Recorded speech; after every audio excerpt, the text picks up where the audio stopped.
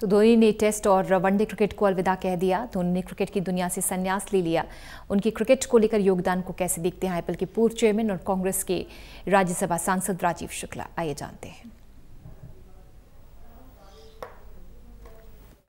महेंद्र सिंह धोनी ने क्रिकेट को अलविदा कह दिया है। हालाँकि वो आईपीएल के मैच खेलते रहेंगे। क्रिकेट में उनके योगदान को कोई नहीं भुला सकता है। लेकिन उनके योगदान को देखने का एक नज़रिया कुछ विशेष लोगों का अलग तरह का होता है। उन कुछ अलग लोगों में मेरे साथ मौजूद है।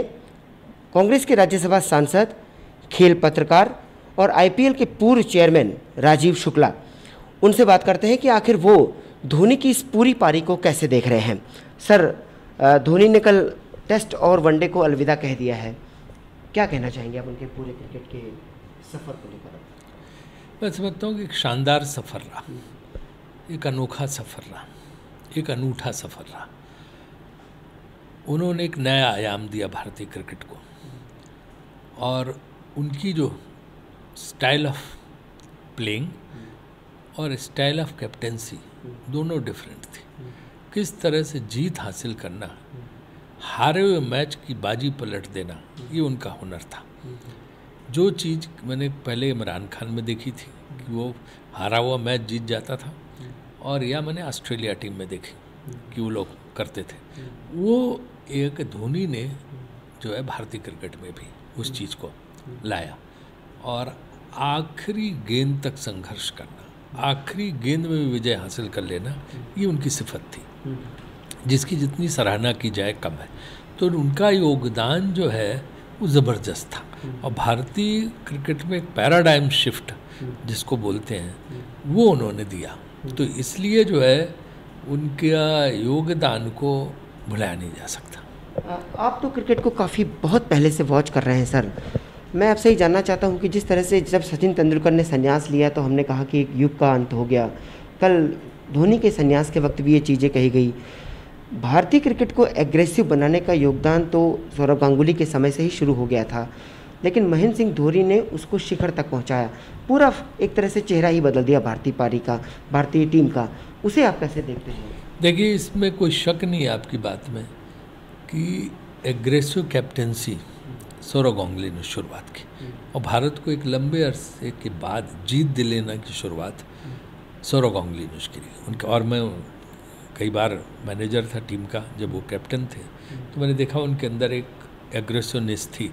जिससे उन्होंने भारत को जीत दिलाने की शुरुआत की। धोनी ने कूल रहते हुए उस एग्रेसिवनेस को और आगे बढ़ाया। और उसमें हार को जीत में कैसे बदलना है कन्वर्ट करना है, इसका हुनर दिया। मैं आपसे यहीं पर एक सवाल ये पूछना चाह रहा था।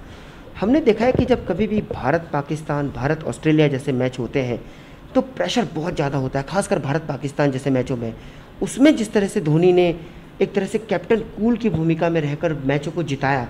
उसे आप कैसे थे? उस उस हुनर के लिए आप क्या कहना चाहेंगे? नहीं, यही आपका बड़ा अच्छा सवाल है। यही तो उनकी खासियत थी कि बेहद तनाव के क्षणों में, बेहद दबाव के क्षणों में उनके चेहरे पर शिकन नहीं दिखाई देती थी। वो विकेट के पीछे खड़े हुए, हर गेंद में क्या स्ट्रेटजी होनी चाहिए, क्या नहीं होनी चाहिए, ये उनके दिमाग में रहता था कि कैसे वो, जैसे मैं आपको बताऊँ 2007 का जो टी ट्वेंटी वर्ल्ड कप था, जब उन्होंने जोगिंदर शर्मा को गेंद दी जो हरियाणा के हैं। हाँ, तो हम सारे लोग थे वहाँ तमाम क्रिकेट के लोग शाहरुख खान भी थे हमारे साथ हम सब लोग साउथ अफ्रीका में सबको लगा ओहो क्या कर दिया यार जोगिंदर शर्मा तो कहाँ एक्सपीरियंस इसको देख के अब तो पाकिस्तान जीत ही गया। तो वो भी मिसबाउल हक जैसा बैट्समैन है ही तो छक्के उड़ा देगा।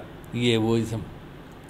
और आप देखो वो रिवर्स शॉट ट्राई किया मिस मिसबाउल ने और कैच हो गया और वो मैच हम जीत गए। हम्म। तो ये धोनी की जो है रणनीति होती। तो वो जो है चुप रहते थे, तनाव नहीं लाते थे, लेकिन अंदर अंदर वो रणनीति बनाने के मास्टर थे। एक आखिरी सवाल, सर।